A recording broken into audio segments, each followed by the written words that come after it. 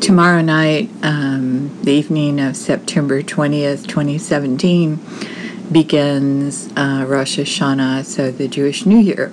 And from that date uh, to a week from Saturday, is which is Yom Kippur, which is the Day of Atonement, is begins the some of the highest holy days in uh, Judaism, and the Jews teach it's the time when the Lord draws closest to the earth, and He opens all His books and determines what life your life is going to be like. So it's a time preceding the Day of Atonement when you would seek God and ask Him what sort of changes that He wants you to make.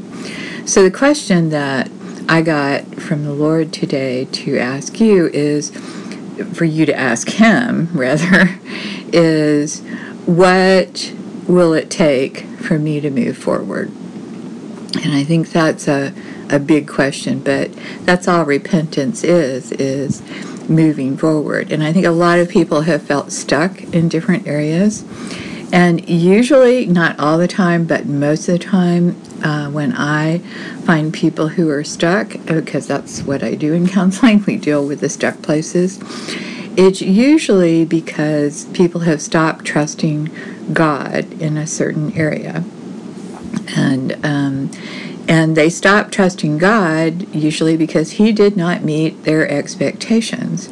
You know, as Christians, we think I know we don't mean to, but we think that if we do this, then God will do that.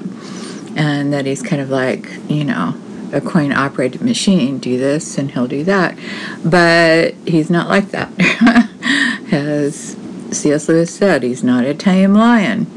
So when He does not meet our expectations, uh, especially when we think we've done what He wanted us to do, um, we usually get upset at him, uh, and rather than seeking him to find out what's going on, we just stop trusting him, at least in that realm, in that area.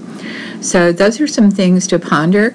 But I think the big question for you is to the Lord is what is it going to take for me to move forward this year?